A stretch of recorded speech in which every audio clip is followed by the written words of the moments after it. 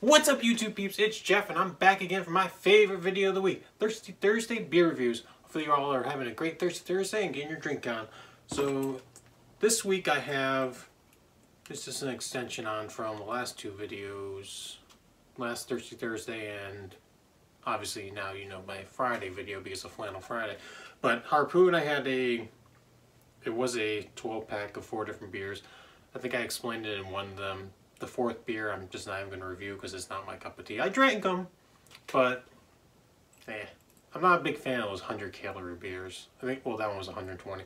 But, again, teach their own. If you like it, awesome. Uh, we could be friends and you can drink those ones when I don't want to drink that one. Perfect. so uh, the third one out of this one is the Harpoon IPA. The other ones, like I said, was the freaking amazing, the Flannel Friday Amber, Hoppy Amber. Side note, I went there earlier today to the grocery store that sold them. Out. They're out of it. They didn't even have that one alone. So I'm just like, seriously? Of course. This grocery store, every time I find something I love, they take it away from me. Stop ripping my heart out. so like I said, this one's the uh, Harpoon IPA. Hoppy Balanced Crisp, 6% alcohol, 42 IBUs. On top here, in the style of an English IPA, with distinctly American hops, citrusy, citrusy, refreshing, and perfectly balanced. Uh, on the back, for 22 years, Harpoon has been the proud beer sponsor of the Pan Mass Challenge, PMC, the largest athletic fundraising event in the country. Cheers to James Shear, or our head of quality on his 18th PMC round. And cheers to all riders, volunteers, and donors uh, who fund life-saving cancer research and treatment after every year, year after year. So yeah, looks like it's gonna be a good one. New England's original IPA, and there's the, probably not gonna get the picture of the biker. Yeah, let's give it a pop open. Uh, I think I said before, Boston, Mass and Windsor, Vermont is where they brew and bottle all this good stuff. Just not too, too far away from me. So let's give it a pour, give it a color look.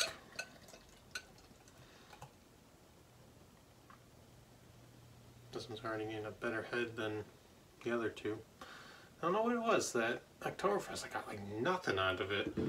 The Hoppy Amber had a little bit more, and this one has good, you know, a little bit of, eh, right about finger for me. So, uh, ooh, that smells delicious. So, cheers.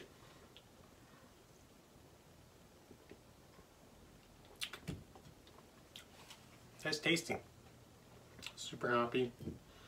Not like in your face hoppy like a heady, but like just that perfect balance of hops, I would say. Um, I know the other ones they said what was in it. type of hops and whatnot. Doesn't look like this one has it. Definitely getting the citral, citrusy, typical taste. Yeah. Super tasty.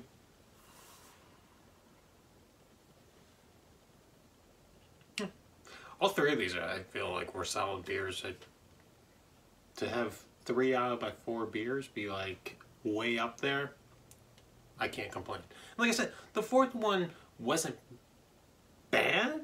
It's just, it wasn't my cup of tea. I, like I said, I still drank them, but it's not that I would want to review just because it's, it's just, it's watery for me and it's not, it's not really packing that punch of flavor that I personally like. Maybe that's what your cup of tea is, then perfect. Or, you know, you're trying to watch calories or whatnot. Awesome. So, uh, you, you, know, yeah, you can get that 100 calories and you can still get a pale ale type beer. I guess if I was watching calories, then awesome. But, um, yeah, I would, ranking them, like I said, that Hoppy Amber was my top one for these three. Oktoberfest, I would give, I give the slight edge to Oktoberfest just because, again, personal preference. I like the Oktoberfest. And then this one's not too far behind that Oktoberfest. Like I said, I probably would put them like if they weren't tied for second, this one would be just like, you know, that like photo finish of a race, the Oktoberfest. Just, just that little bit. But it's still super tasty. Definitely recommend these if you can find them.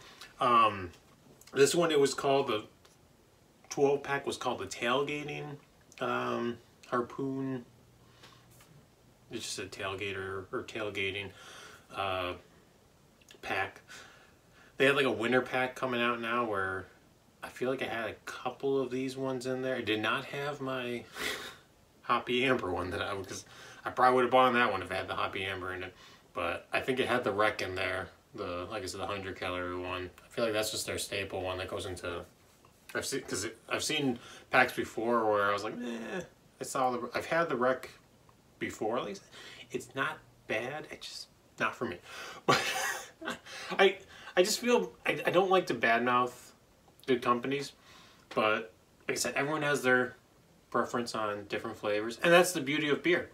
You know, you might not like this one, but you'll love this one. Like sours, I I've found a couple sours I don't mind, but most of them are just like no. But then there's other people that are like sours. This is the best thing in the world. And to you, I say awesome. That's one less sour that I'd have to drink. but uh, yeah, I, I would say I think I because I, I know I gave the Hoppy Amber five. I think I gave the Oktoberfest like a mid four. So this one would be like I said, right in the same range as the Oktoberfest, maybe just like a centimeter below the Oktoberfest. But still, three solid beers for like I said on sale here was fourteen ninety nine for the twelve pack. Can't really beat it for me. Um, yeah. So hopefully you guys are having a great Thirsty Thursday, and I'll check back with you guys in the next video. See ya.